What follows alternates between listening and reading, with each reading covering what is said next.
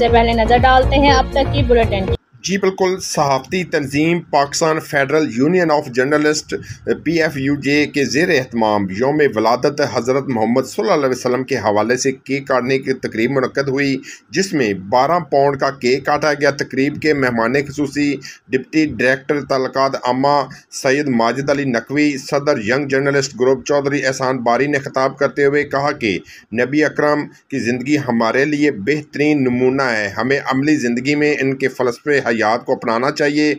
P F you जी के ज़िले सदर Mohammad Irfan Chaudhry, general secretary Mubashar Majeed Mirza, senior नैब सदर लाल दीन शहराजी नायब सदूर अमीर हमज़ा साकब मुगल, चौधरी अब्बास अली, राव गुलाम नबी, चौधरी मोहम्मद असलम ने इजहार ख्याल करते हुए सीरत नबी पर रोशनी डाली। उनका कहना था कि ज़िंदगी के हर शोबे में हमें नबी अक्रम की हसब हसना से रहनमाई मिलती है। इस्लामी तालीमत में अखलाक हसना को बहुत अहमियत हासिल है। हमें एक दूसरे की बात को बर्दाश्त करना चाहिए और दरगुजर की आदत अदात को अपनाना चाहिए। तकरीब में इंफॉर्मेशन सेक्रटरी चौधरी कैसर स्तार, हाजी शमून नज़ीर, मलक अब्दुल गफ़ार अंजम, मलक सरवर, मलक ताहिर राना शौकत राना सैफ़ी, सगीर अहमद, सज्जाद महमूद, मोहम्मद अली मिर्ज़ा, मलक शबाज मलक वहीद मुराद, मोहम्मद शहजाद, हकीम जावेद हरून, रौ अमजद अली चौधरी अर्श समेत मुतद सहाफ़ियों ने शिरकत की।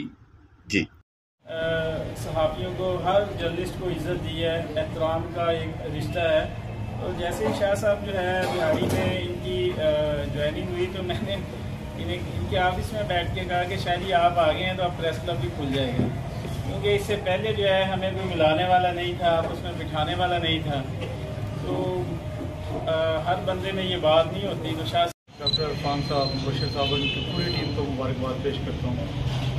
और तमाम दोस्तों का शुक्रिया कि वो तशरीफ़ लेके आए स्पेशली हमारे लोग से, दोस्त हैं मलिक साहब आपका सर शुक्रिया। मेरे बड़े भाई भी हैं, दोस्त भी हैं, बुज़ुर्ग भी हैं। मेरे वाले साहब के भी दोस्त थे, उनके साथ भी काम किया, हमने भी इनके साथ काम किया और इनसे बहुत भी सीखा।